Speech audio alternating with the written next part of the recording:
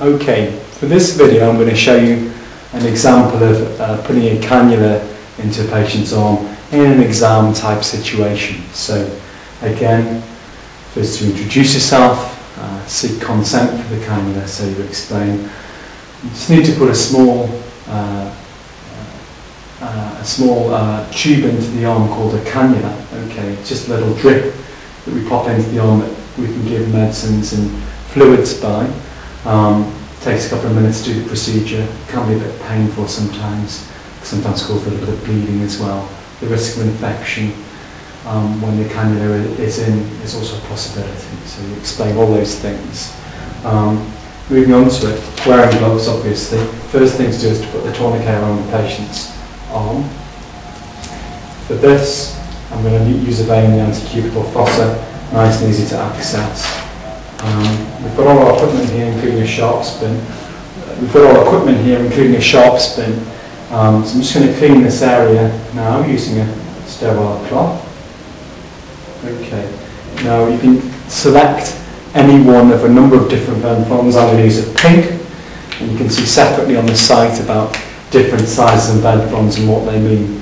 Essentially, blue is the smallest venflon, then pink, then green, then white, then brown being the largest venflon. Um, again, you can see in Ben's arm very nice vein coming down here, very easy to palpate when you when you when you do that. So again, just re-clean this site. Uh, I've got a clear idea of exactly where I'm going to go.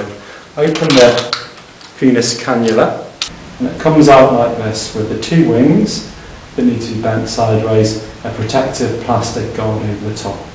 So take the protective guard off, and the easiest way to hold the cannula is with uh, your middle finger on one of the wings, index finger just around the cap, and thumb behind this, um, this uh, supporting uh, structure just here. Okay, so again, all of these things.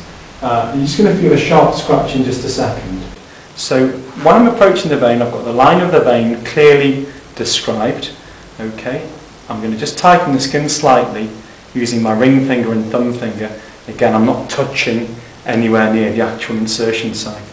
And then I'm just going to gently, once I've got the line correct, at about 30 degrees, just gently and firmly insert the cannula in.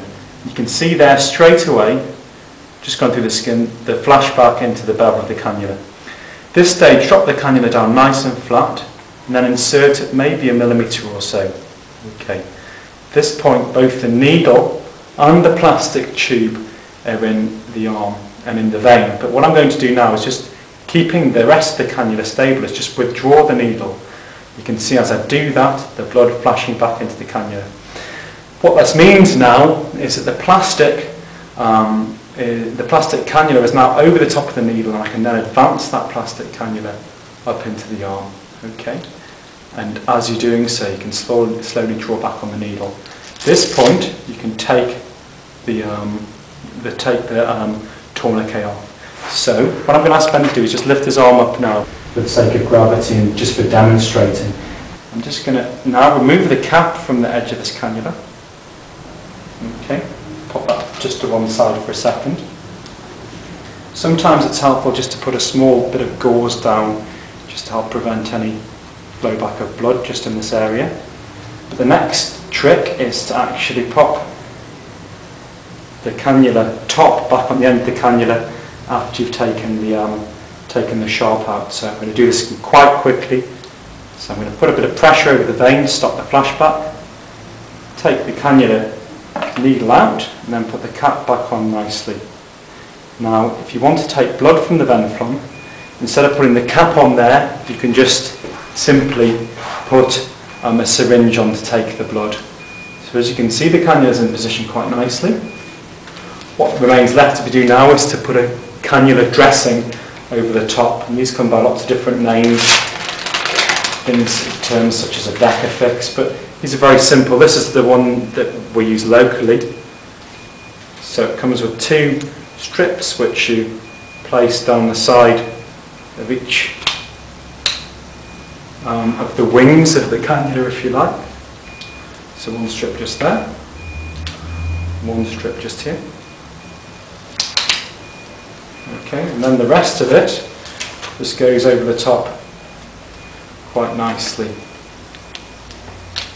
And then gets stuck down. As so. And these are sterile dressings that then can be taken off nice and easily. There's also different ways to take them off and each one has a slightly different method so I'm just going to pull that off there.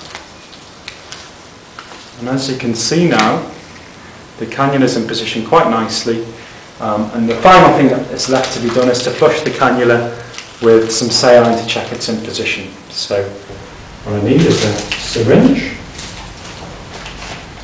some normal salines, that's sodium chloride 0.9%, expires uh, March 2010. Take that off. Draw up a small flush. Make sure I've got all the air out of the needle. And then simply pop the flush into the arm and then you can see it's flushing with very little resistance. Can you feel anything there, Ben? A little bit, yeah. Again, patients sometimes feel a sensation of cold travelling up the arm because of the cold, um, because of the cold uh, uh, sodium chloride that goes up through the uh, through the arm. Okay, so that's the cannula inserted now. Um, you can give the patient some advice. You can see that the insertion point is quite clearly labelled, and then the procedure's finished. Thank you, Ben.